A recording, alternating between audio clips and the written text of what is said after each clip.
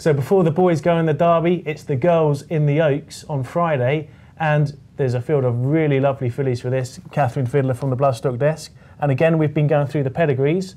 Um, let's start with the favourite, Secret Gesture.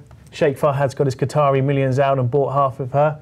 Um, what are we thinking about her? She, I mean, she's got just sort of the ideal pedigree for any pedigree buff, really, hasn't she? She has, absolutely. As you say, she's a really nice sort. Uh, her dam, Shastye, was actually sent to Galileo specifically with the aim of breeding an, an Epsom horse.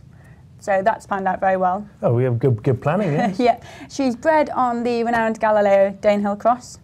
As we mentioned, that has thrown up some incredible performers over the years, spearheaded by Frankel. But like we mentioned, a lot of them tend to be mile, 10 furlong horses. Um, however, her performance at Lingfield suggests that one mile four not going to be a problem. And she was That's- the Bloodstock Bloodstock pick for that race, wasn't she, in Lingfield? Bloodstock desk pick? She was, yes. Mm. And that's all. Uh, getting the trip is also supported by the fact that her dam went over one mile four.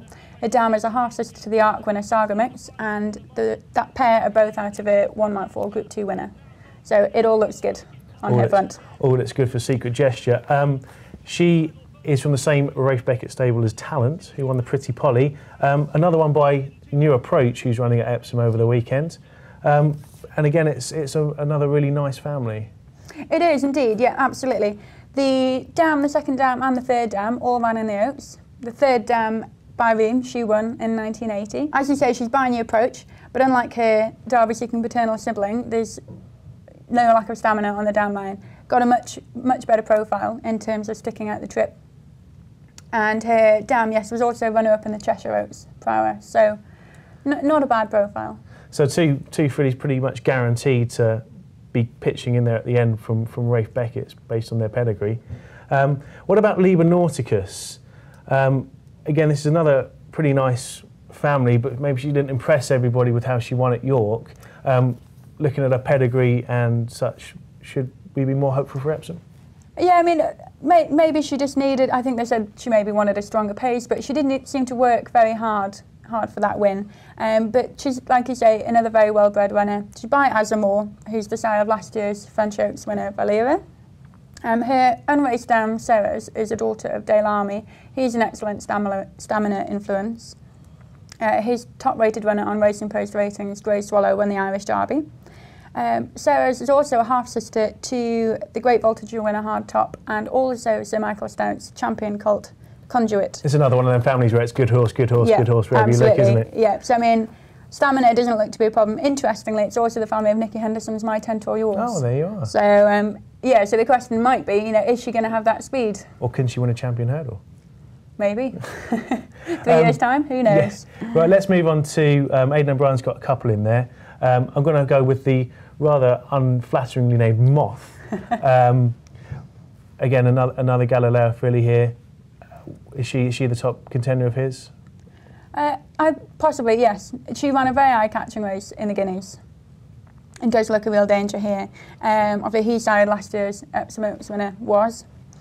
Um, she's one of six winners for her dam uh, Pieds de Plume by Seattle Slew. Three of those are by Sadler's Wells, who is, of course, the sire of Galileo. So they're three-part sisters. They all run black type races over middle distances, including uh, Cheshire Oaks winner Sale.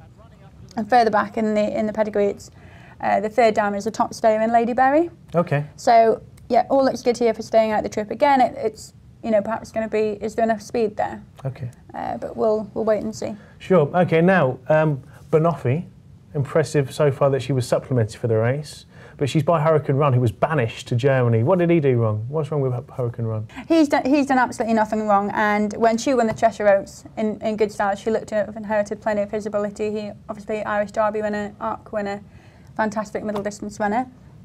Um, uh, the the problem with Banoffee, maybe uh, on the down line, she's lacking a little bit of the class that the others boast. Okay. Um, but I mean, she's out of it, a group place juvenile, and there are good middle distance performers in there, Golden Steel and Golden Marvel. Additionally, Anabar is uh, the dam sire of uh, Dalcala and fellow Oaks entrant was. So, you know, she I mean, obviously she's with a chance, or they wouldn't have supplemented it at great cost. I was going to say, it's a, it's a pretty big gamble to take if you don't think she got much of a chance. Great stuff. Okay, um, the last one that interests me is the Lark, um, who I guess, provided she comes out the stalls, would be an interesting one, as she is a sister to Sariska, who decided to end her racing career by not coming up. She's out of a half sister Out to of a half sister. Sariska. Yeah, oh, in that close. case, she's out of a half sister Yeah. to Sariska. Yeah, she, she's an interesting case. Unlike many of the others in, in both the Epsom Classic, she's got a bit more speed on top. She's by Pivotal. He's a very versatile sire, but many of his top runners are sprinters, milers, Kyllachy, Farhh. Um, but the Dam, as you say, Gull Wing, she's a half sister to Sariska, dual oaks winner, very talented performer, if uh, enigmatic and uh, yes, tricky. quite. Um, but yeah, I mean, Gull Wing, she's by In The Wings. She stayed all day, won a listed race over one mile, six furlongs. So the question here is balancing that speed and stamina, but it seems to be inverted to a lot of the others. Does that make any difference at all from It- the other other way around? It, it depends really, I guess, on you know, it depends on the, the potency of the influence of both. But Pivotal, very potent sire, a lot of good good runners. I think he'll be able to inject the, the speed that she needs. Lovely. Okay, so what's your selection? I'm going to have to side with the favourite, I'm afraid. Secret Gesture, very classy family, related to an ARC winner, bred on the Galileo Danehill Cross, which has thrown up some outstanding performers. So not much of a, a betting coup, I'm afraid. So there it is. The selection of Bloodstock reporter Catherine Fiddler is Secret Gesture to win the Oaks and make Sheikh Fahad very happy.